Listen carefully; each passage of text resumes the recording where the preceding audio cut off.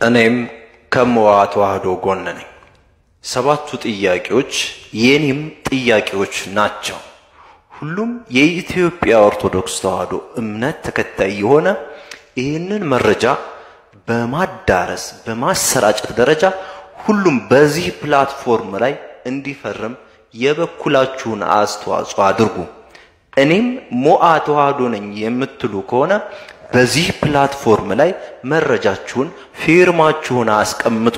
ከቻላችሁም ሐሳባችሁን በዚህ platform ላይ ማስቀመጥ እንዳትረሱ። በዚህ platform ላይ የምትሞሉ ሁላችሁም ኦርቶዶክስ ተዋህዶ ብቻ መሆን አይጠበቅባችሁም።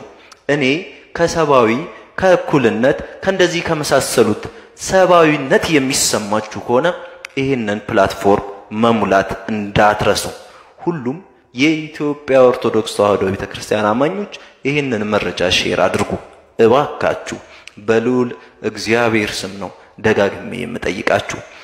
ይህንን ለመፈረም የሚያስፈልጋችሁ እታች እዚህ sign this petition የሚል በቀይ border ያለው ጽሁፍ አለ። background ኡ ቀይ የሆነ እሱን ትነኩታላችሁ ማለት ነው። እሱን ስትነኩት complete your signature ብሎ ዝርዝር ያመጣላችኋል ማለት ነው። ዝርዝር ያመጣላችኋል።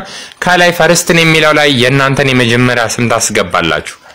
የመጀመሪያ ስማችሁን ታስገባላችሁ ማለት ነው። last name የሚለው ላይ ደግሞ የእናንተን የአባታችሁን ስም ታስገባላችሁ። ሲቀጥል ደግሞ ከዛ ቀጥሎ ኢሜላችሁን ታስገባላችሁ። ኢሜላችሁን እንዳትሳሳቱ check እያደረጋችሁ ኢሜላችሁን ታስገባላችሁ። ከዛ እዚህ ጋር ሁለቱንም right መሆናችሁን check አድርጉ። right ታደርጋላችሁ። ከዛ በመጨረሻ ላይ እዚህ ጋር ልክ እንደ ቅድሙ sign this petition የሚለው አለ። እሱን ትነኩታላችሁ፣ ትጨርሳላችሁ ማለት ነው። የኦርቶዶክሳውያን ጥያቄ የሚያስመልስ የሞዓ ተዋህዶ ግብረ ኃይል ተቋቋመ። በዛሬው ዕለት በአዲስ አበባ እየተካሄደ ባለው ጉባኤ ላይ ከተሳታፊዎች በርካታ ነጥቦች ተነስተዋል። ውይይቱ ከተካሄደም በኋላ የኦርቶዶክሳውያን ጥያቄ የሚያስመልስ የሞዓ ተዋህዶ ግብረ ኃይል ኮሚቴ ተቋቁሟል።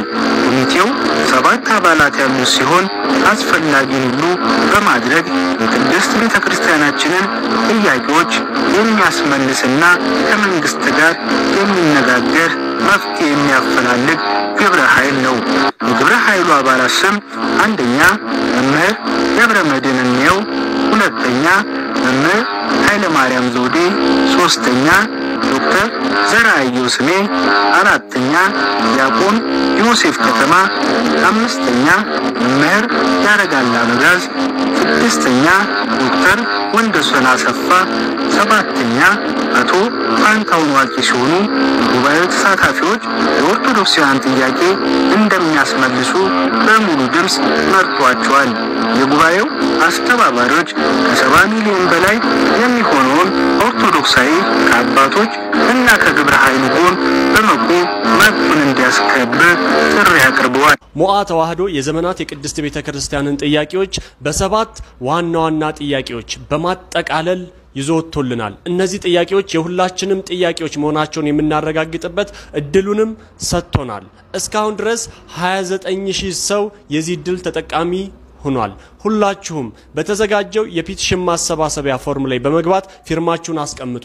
ፊርማው ላይ የሚያስፈልገው ስማችሁና email address ኣችሁ ብቻ ነው።